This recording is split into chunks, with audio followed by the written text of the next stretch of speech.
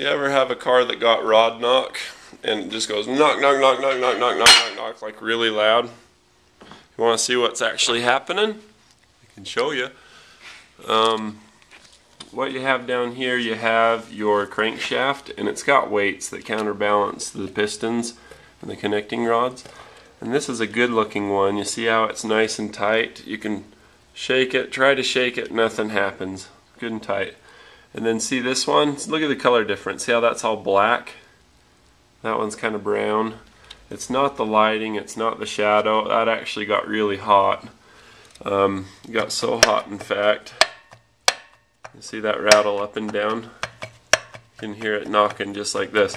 But that connecting rod's toast, and then also the crankshaft's toast.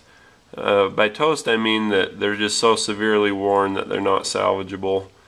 That's just nasty. The bearings in that are just totally gone and it's just wearing on the metal surfaces of the connecting rod, which is this. This is what the pistons bolt onto. But anyway, it's just, it's kind of too bad. The rest of the cylinders are all nice and tight. Everything's good. Just that one didn't get oil. Something blocked oil from getting to that and it just got real hot.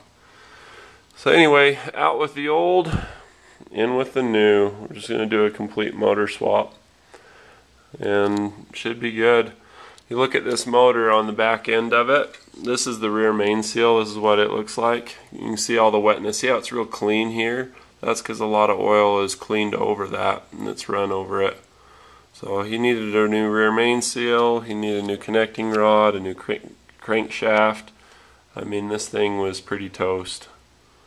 So the reason why it's so much work and why I'm doing a motor swap is that you have to load the pistons and the new connecting rod from the top. And to do that you have to take off the cylinder head. This is the cylinder head up here. This is the block. You can see the difference in the color. This is a cast iron block and then that's an aluminum cylinder head. And the reason why you have to do them from the top is the piston rings, you know like the pistons are round and you got rings on the top. You have to hold in the rings while you load it down into the cylinder. There's no way to load the piston rings up into there. It's just not possible the way that the engine's designed. Anyway, that's rod knock. I just figured I'd share that. And uh, I'm just doing a quick video. I've been making a ton of videos lately, but I haven't been editing them and posting them. I've been getting flack for not editing them. But then I never have time to edit them, so that's kind of why I haven't had any videos. But anyway, that's rod knock.